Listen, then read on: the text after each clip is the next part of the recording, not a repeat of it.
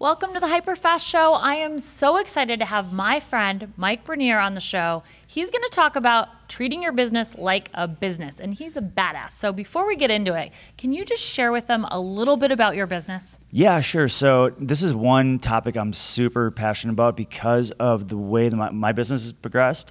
So I started out years ago, like everybody else, as a solo agent. Uh, went through that whole progression of solo agent to top producer to really top producer solo agent to team leader. Dying. Yes, dying, dying. top totally producer, dying. solo agent. Totally dying. Like every minute of every day, it, it was all on me. Like every bit of revenue generation was all on me. So if I stopped for one minute, I felt that, right? So, you know, then I went into team leader, then now broker. So I've just been through this progression of, of running a business like a business because I spent many years trying to do it all myself and it, it just destroyed my life. It really did. Sure. And some of you watching right now, you're there. Absolutely. And it's, the sad thing is, the more successful you get, the harder it is to have a life, right? It is. It is. So, you know, if you look at it, I think a lot of people that go into real estate, we all kind of get in and we've got different goals. And, you know, there's a reason why we want to be self employed. Yes. There really is. But, you know, when you're self employed, it's not really that you own a business. You're really just sort of this uh, person that's conducting business. You're self employed conducting business. So, making that transition from going from uh, conducting business to owning a business, that's a place that most of us never really get to because we can't Yep. let go. Yep. You You're know, right. So that's that's been something that was a hard lesson for me is how do I let go? How do I how do I get past the mindset that if I delegate off or outsource or even insource, how do I get past that mindset that my business is going to suffer? That was a very hard sticking point for me. Sure. And how did you resolve that in yourself? Well, you know what it was? It was, it was strange because it it got to the point that I wasn't having fun anymore. Like I was, I was dying to, you know, get out from underneath how my 14-hour days uh, felt. So when I met my partner Long Doan, um, Long and I formed uh, kind of a new business model in brokerage. I wanted to transition out of production. I wanted to actually do something a little bit different, where it wasn't just all on me. Uh, so that's that's how I made that made that leap. And was that because he helped you see a different path and was already there, or was it because you both partnered at a point where you both desperately needed a solution? I think we both desperately needed a solution. At the time, you know, he was really heavily in REO, and that was sort of dying down. Um, and then we both looked at each other like, what's going to be our next move? So we decided then to kind of open a traditional brokerage, go that route. Um, you know, for me, it was great because I thought I can finally kind of get out of production. He's thinking I can transition because my business is, is slowing down. So then we started thinking about how we can support other people in their business. That's really how we started, if That's that makes awesome. sense. Well, yes. And Yeah. let me ask this, just to give you guys some perspective, because I think this is huge. How many agents do you have today? Yeah, so today we're sitting with 425 agents, right? 425. Most of you are trying to figure out how to have 425 clients or potential clients or leads, and they have 425 agents. We do. So, you know, with that, um, with that, we also did that 425 went from eight to 425 in about a little over five years now. And I think the mindset shift that really happened for me personally is when I stopped thinking like a revenue generator, just like, you know, and I think agents do this. We think like revenue generators. We Sure, think very yeah. linear and even sequential. We think about, you know, the transactions that we're about to have or the clients we need to service. Yeah, I've got three buyers, I've got four buyers, I've got five listings, and we're thinking about those transactions Sure. to step back and start thinking more like a CEO, to not think about you know those transactions and those buyers, but think about the processes that led to those buyers or sellers in the in the first place, and think about how to really um, uh, duplicate and replicate those processes, how to make them better, how to focus on the operations of your business rather than just the transactions you're about to you know about to have or about to realize. So that was one of the main mindset shifts in me is thinking about well, if I'm doing something very well um, how can I how can I make it even better, or how can, I integrate other things in my business that I can duplicate the same successes with. So trying to transition to think less like a revenue generator and more like an actual CEO. That was that was a uh, that was sort of a progression that didn't happen overnight. But I think we all need to get there if we're going to start thinking about running our business like a business. And running a business like a business, to me, uh, what that means is that the revenue generation is no longer solely on you. If you stepped away from your business for a minute, you know it's not going to fall apart. Whether that means you can step away for a day, a week, a month. I was just going to ask that. I'm like, how long is a minute? But but I think I think the you know if you really look at the uh, CEO, um, the profile of a CEO on a small organization, they can't. They're active CEOs. They're not going to be able to step away long long term. You know, maybe a week Yeah. and their business is fine. But the the more you dial in your business and the more you grow and scale it, the less active you have to be. And now you're starting to focus on really the higher level activity to build that business. So again, you know, if, if you're really good at, at working with your sphere of influence, if that's your main source of business, so instead of just focusing on servicing those referrals and those past clients, how can I then start building in business operations that I'm not just working with one or two buyers at a time, but now I need to work with five or six or seven? Sure. Uh, what led to those referrals in the first place, and can I really double down on that activity so I get more referral- referrals faster?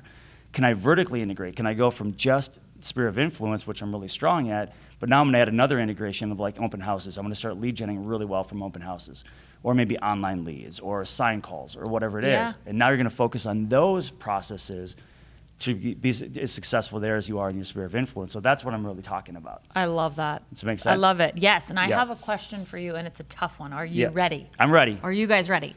So, for the people who are watching this right now and they're starting to hit that burnout, Yep. How do they go from when they shift their mindset? They're already working 14 hour days, they're mm-hmm. burnt out, they're solopreneurs. Yep. What would be the steps you would recommend to get them to a point that they can focus on the systems and the processes when they're already overwhelmed and feeling like they want to just go live on an island? Sure. So if you go to that island, let me know where it is too, because I so want to live We'll on an come island. visit you for a while. Yes, I mean you Yeah. don't realize I live in the winter in Minnesota. You know, I mean I want an island. Um, so anyway, first off, let me preface it like this. I think the the key, the mystery behind all this is uh, we've identified five problems in real estate to solve, and I think when you can solve these five problems, you've won at life, you've won at real estate. And if you think back when you first got licensed, your biggest problem you had was creating consistent income. I mean, you, you walk in day Yeah. one with your license, and people are not knocking your door down to oh, work Oh, with you're you, right? just walk, you're wandering aimlessly in the world trying to find clients. You are, Yeah. right? So that's your focus, and your conversion rates aren't there yet. Nobody trusts you yet because you're, you're not tested. There's no proof of concept with you yet. But by the time you actually start creating that consistent income, now you create a whole new problem for yourself, which is efficiency. Yep. So now you got to figure out how do I be more efficient? I'm running around, I'm, I'm doing 15, 16 transactions a year. I feel like I need an assistant when you probably don't. You're just not yet efficient with your time. You're not efficient with how you're leveraging time, systems, automation, things like that. Sure. So once you start dialing in to scale yourself and you're recognizing the highest and best use of your time. So to get back to your question, to, to recognize your highest and best use of time, start eliminating and outsourcing the things that, that do not serve you. Sure. You know, and it happened for me in my personal life. I mean, I, I don't cut my own grass. I don't I don't even cook my own meals. I have things delivered. I started buying back my time so I can focus on the higher level integrations that I need to. So once you become efficient um, and, and you max out, no matter how efficient you get, you can still only service so many people at so many times at one time. Now it's time to start thinking about scale. Yeah. And that's where Hold most on people- one minute before Yes. you keep going. I want to make sure you guys heard what he just said. Buy back your time. Mm-hmm. Because time is the only thing that we all just we just have 24 hours in a day, I, right? I call it like time is the ultimate equalizer, right? Yes. So whether or not yes. I don't care how talented you are, wealthy you are, connected you are, it's the ultimate equalizer. None of us can have more than the other. But like money, I could give you $10,000 right now, and I could take $10,000. I might go blow it and have a great night in Vegas and great memories. And you might, you know, put that down on a new investment property and have an ROI to that money. It's the same thing with your time. So the way you leverage and invest your time versus spend and waste it is going to dictate whether or not you can go to that next step, which is scale. Yep. And when you're when you're trying to scale, you're going to go through the next problem, which is going to you know crush you and mentally, because what's going to happen is you're used to being at a certain income level and a certain control of your business, and now you're going to scale. You're going to start insourcing. You're going to start hiring. You're going to start working on process and procedures and, and Yeah. stuff like that. When what happens is you hit a new problem is profitability because your income starts to go down. Mm-hmm. Because now you're paying bills that you know that you're not used to paying, and you're not your focus isn't just primarily production anymore. And your So- time is spent on other people instead of in the field. So all of a sudden you either work 16, 18 hour days or you work less. And Mm-hmm. Yes. then you have a different problem. Exactly right. And that's I love this. This Yes. is awesome. It's, so it's a progressive problem, right? So once you solve efficiency, now you're going into scale, which brings in the new problem, which is profitability. You're going to go through this J curve. And by the time you get to the end of it, most people drop off. They don't have the stomach for it. Can you really invest? And this is the, the key, like starting point of running a business. is you don't start a business for free and you don't make money day one. That's not the Sure. normal track. You have to invest in that business. And that's what that first year, 18 months, whatever it is, looks like, is you're going through that investment period. Now you're starting to meet people, good hires. You're starting to get your flow. People are figuring it out. Yeah. You're, you're investing in your people. They're, you know, your systems and processes are coming together, which creates a whole new problem after you solve profitability. Now it's time to start figuring out how do I replace this business income with residual income. Yeah. Now start car- you know carving off some of that operational money you're making from your business and putting that in places that you can match your business income. And eventually, that grows independently. Once you create, once you've done all that and solved those five problems, I believe that's when you've really won it at this game, right? Because this real estate license we all have, it's it's like an endless potential. Yes. But very few of us will ever realize that potential because we get stuck in, in problem two. We never grow. We never grow past efficiency because we just won't let go. Yeah. That was my problem. Yeah, that I mean, this is like an exceptional interview, you guys. I hope that you're taking notes and really taking this to heart. There's been like three times I've wanted to start writing things down, so thank you. Um, I think the J curve is one of the biggest things because when you start hiring, there are plenty of people who get to the point where they try and delegate. They're probably stuck in efficiency. They are. But they try and do it. And what ultimately happens is either they can't figure out how to do it or they have the wrong hire and they don't anticipate the J.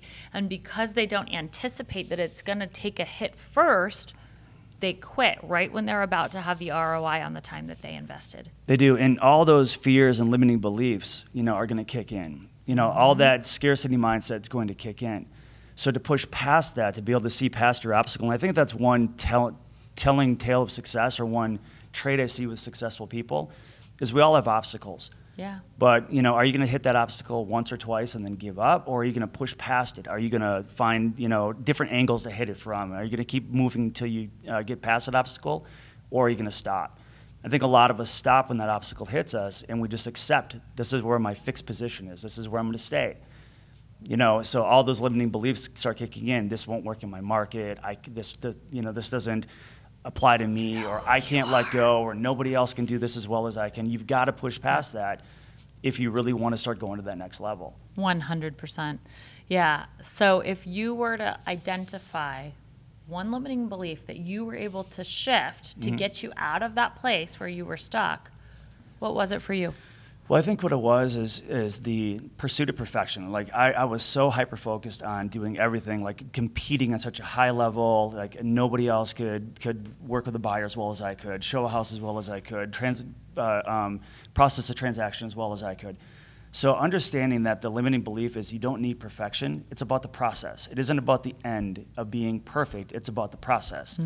And when you switch it about being about the process, pretty soon you can accept that you know maybe a transaction coordinator won't do it quite as good as you. Maybe it's only 75% as good as you. But what'll happen over time as you keep developing those processes pretty soon that transaction coordinator is doing 300 transactions not you know not 15 like you're used to doing right? Yep. they're doing hundreds of these things and, and that's all they do and they get really really good at it. So you know my limiting belief was i had to hold on when I when I uh, shifted that and let go, I started figuring out you can departmentalize and put real experts. I mean, whether you know whether or not you're a listing agent, a buyer's agent, team leader, whatever whatever you're really really um, um, uh, good at, whether it's gathering listings or working with buyers, at some point that, that scales to a point you need to actually departmentalize it. And you start bringing in listing coordinators, you start bringing in showing agents, and they get really, really good at what they do. In fact, better than what you're going to do. And that's, that's the key of growing a business is understand, look for people that can do it better than you can. And don't think that you're the only one that can do it. Well, and you salespeople, be honest with yourself. You're not detail people. No. So you think that you're exceptional at this and you have the relationship and you're the answer to every problem, but you're actually part of the problem if you're really honest with yourself. As an example, if you work with a lot of buyers, you miss things in the contract. If you're really good as a buyer's agent, you're not as good at doing contracts. And if you are really good at doing contracts, you're kidding yourself to think that you're amazing as a buyer's agent, right? Because the personalities very, very, very rarely go together. So my my uh, aha and what you just said is also if you're getting to the 14 hour days, you're starting to burn out, and you yourself are going to start start dropping bigger balls than you already are. And you don't and know you know it. you're already dropping balls. Yeah, and you don't always see the effects of that. That's a problem. You think that you're doing fantastic, but you know the reality is, if you would shift and start working efficiently, and you're focusing then on that higher level activity, and then you're focusing on developing systems and process, um, then your business grows to a different level. So uh, as a solo agent, I was doing you know 70 plus transactions a year with one transaction coordinator. Wow. right? That's As- amazing. Even our production team right now will do over three. We'll do around 300 transactions with about 12 agents right now. You know, and I don't. I no longer produce. That's just the production team within our brokerage. Sure. So you know, I've we have way um, you know went past or succeeded past the 70 transactions I was doing as a solo agent, and we can grow that team to 500, 600, whatever we want to do. Mm-hmm. But the only reason we're able to do that is because I could recognize that you know, in order to grow at a higher level, you have to focus on higher level activity. Ab- absolutely. Absolutely. Well, this was incredibly helpful. If there was one thought you want to leave our viewers with today, what would it be? Um, I think the thought is is the, the why to grow. Um, I think people don't grow or they accept where they're at over comfort. You know, they've in how many top producers have you known? They've already done hundreds of transactions. They they've got a great house, a great car. I mean, the the thing I hear from them is, I really don't need more. I'm good. And I think that's sort of the the danger in all of it is when you get mm-hmm. comfortable, things start to slide or you get you lose the inspiration that got you there in the first place. So I think we need to live in a world of being uncomfortable and keep pushing past it and keep keep growing not you know to catch your competition. I don't, I don't think that you know true success happens by focusing on your competition. You have, to focus, you have to focus on your own goals right? Yep. but keep on setting those goals keep pushing yourself past the comfort because that's when life really happens at a high level Absolutely. Absolutely. And when you're identifying a why, uh, because I can relate to this. I had a moment when I was at a Tony Robbins event, mm-hmm. and the person on stage was talking about how they lost their vision. And I just started sobbing. And my mm-hmm. husband, it was right after my son was born, and my husband's looking at me like, what just happened? Like, we're at this rah rah event, everybody's jumping up and down, you're freaking out, what's going on? Right? And he's my business partner. And I said, I just realized, like, I lost track of my why mm-hmm. because I had always wanted to be number one in Virginia. Right, Right. And right. then we achieved it. And then I, I it was kind of like, now what I don't know where to go from here. And so I was kind of like, like foot off the gas, trying to figure it out. I was in the wrong coaching program. Right. Which the wrong coaching program is like acid on your soul. For me, they were all about cutting expenses, cutting expenses, cutting expenses instead of growing. And I'm such a growth minded person mm-hmm. that it was totally squelching my potential. So when you get in that place, if you get in that place, even as a team leader, there will be moments where you lose sight part of what will get you re-engaged and back on track is really engaging with your people. Because when you become so committed to their growth you have to i believe have a vision that's big enough to include growth for all of them. Mm-hmm. And when you get back to that place i mean you're coming to work invigorated every day. And I think you need to connect back with purpose, right? I mean, if you once you lose that purpose, if your why is to be number one and that's what you've hit, then you need to start figuring out what's my what's my purpose. What am I really mm-hmm. doing doing here? What kind of impact am I trying to create? Yeah. You know, what business am I really in? I mean, so you have to go back yes to those core principles. I think we always think of things like the you know SWOT analysis and finding your why and some of those core like what are my core values. We think of those things as so basic and foundational that we don't really revisit those. And I think you got to go back and revisit those often to help keep you moving forward in the right direction. 100%. percent Well, I hope you guys got a lot of value out of this. And if they want to connect with you or follow you on social, where should they go? Yep. So uh, social media, um, you can follow me right on right on Facebook. I friend just about everybody. So Mike Bernier, that's that's me. Um, so you can also follow uh, us at Realty Group Two, RealtyGroupMN.com. My partner and I, that's the brokerage that we run, um, and through Club Wealth as well, because we're both coaches there. Awesome. Well, thank you so much for today. This was incredible. And you guys, give us a like below, follow along. We'd love to inspire you day after day. So um, give us some feedback below and subscribe. See and let me soon. thank you for having me on. Thank you. Oh, absolutely. All right. Bye, you guys. Have a great day. Thank you so much for watching our video. I hope you liked it. Give it a quick like below and comment and share. We'd love your feedback. For more videos like this, click here. And to subscribe, click here.